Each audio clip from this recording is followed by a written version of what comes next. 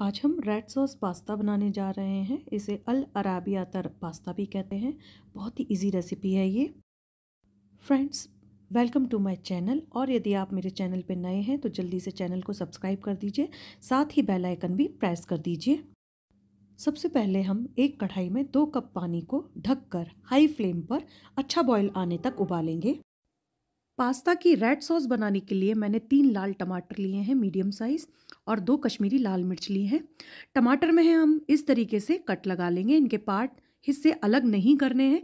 तीनों टमाटर में आप इसी तरीके से कट लगा लीजिए, और ये जो मिर्ची हैं, लाल मिर्च, इन्हें तोड़ लीजिए। अगर कम तीखा पसंद करते हैं तो आप इनके बीज निकाल दीजिए। पानी में अच्छा उबाल आ गया है। अब मैं इसके अंदर दो कप ये पैने पास्ता है, ये ऐड करूँगी।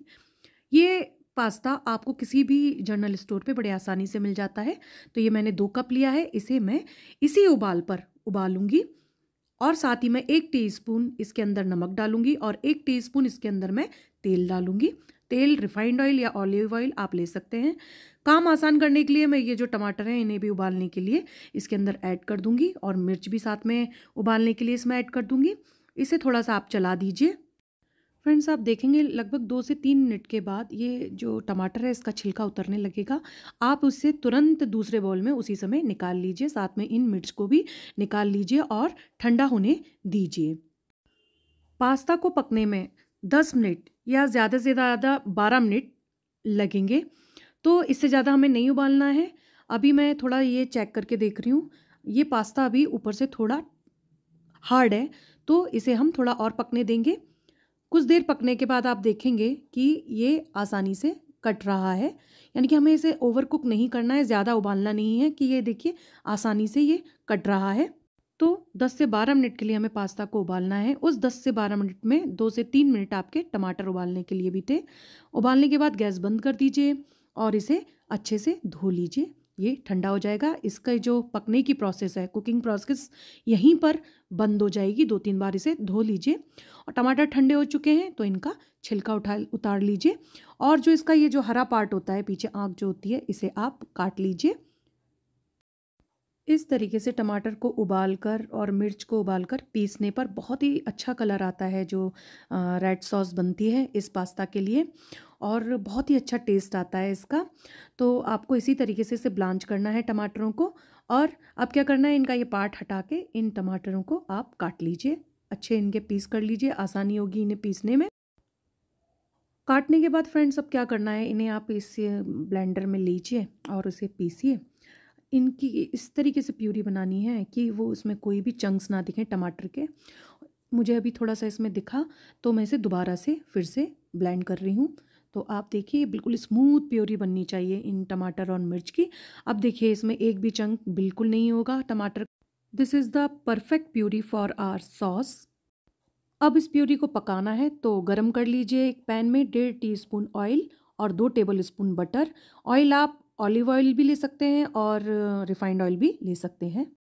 बटर और तेल गर्म होने पर मैं इसके अंदर एक मीडियम साइज़ प्याज ले रही हूँ, जिसे बहुत बारीक काट लिया है और उसे एक मिनट तक हम स्टर फ्राई करेंगे।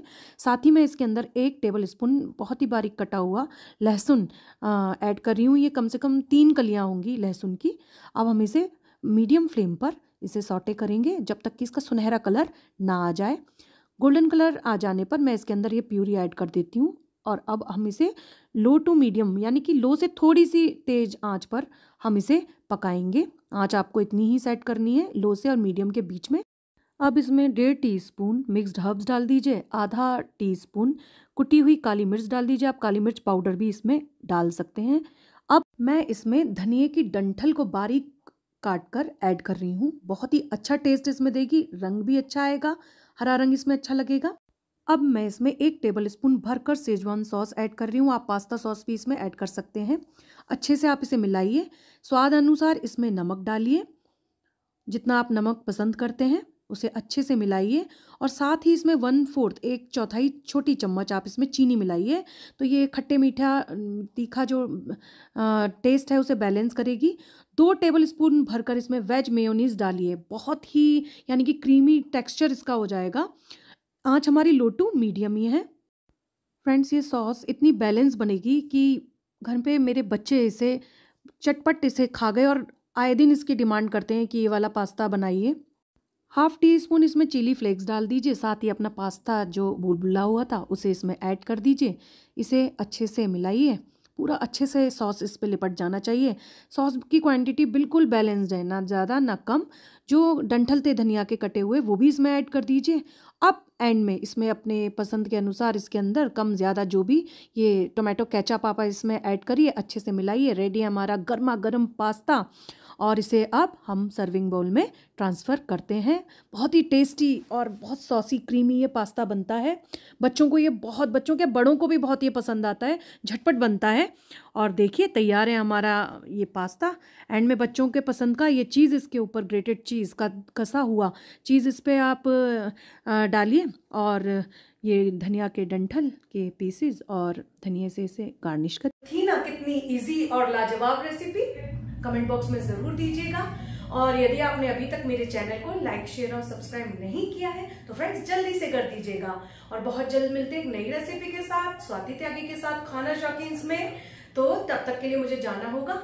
जाने के लिए आप लोगों को बाय बाय कहना होगा बाय बाय कहना होगा।